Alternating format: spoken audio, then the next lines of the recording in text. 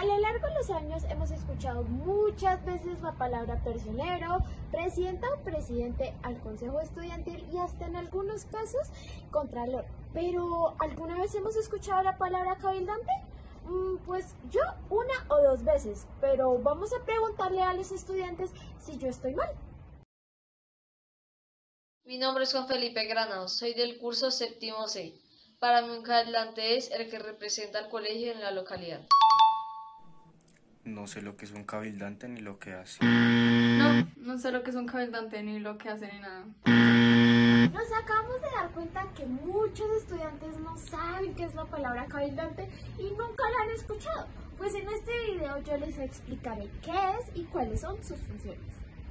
Los deberes y las funciones de un cabildante estudiantil serán las siguientes. Inicialmente tendrá que crear una agenda de trabajo junto a los estudiantes, el gobierno escolar y los actores de las mesas distritales y locales para incluir sus propuestas y posibles soluciones.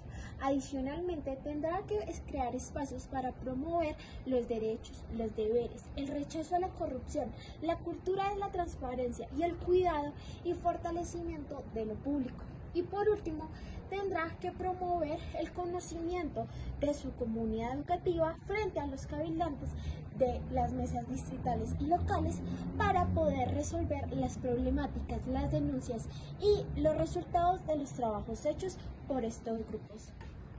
Las mesas locales y distritales van a ser muy importantes puesto que al ser espacios de participación ciudadana y reflexión juvenil, los diferentes organismos y alcaldías locales van a poder ejercer cierta vigilancia y control social en búsqueda de la transparencia y efectividad de la gestión pública en las diferentes localidades de Bogotá. Bueno, y muchos de ustedes estarán diciendo que pereza esta niña me trajo la clase de sociales, pero no, esta es mi campaña para que voten por Sofía para cabildante.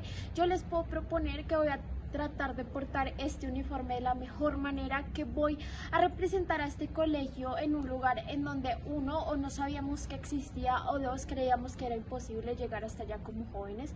Pero esto es lo que les propongo. Les propongo mi mejor representación y mi mayor esfuerzo para tratar de hacer el mejor trabajo. Simplemente no les puedo venir a prometer la piscina o el mejor Halloween porque ese no es el papel de un cabildante. El papel de un cabildante es representar y me haría muy feliz que me escogieran para Cabildante, así que vota por Sofía para Cabildante del 2021.